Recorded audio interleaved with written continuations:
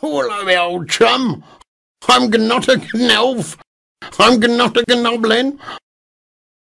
I'm a... Cracklegs. And you've been... Cracklegs.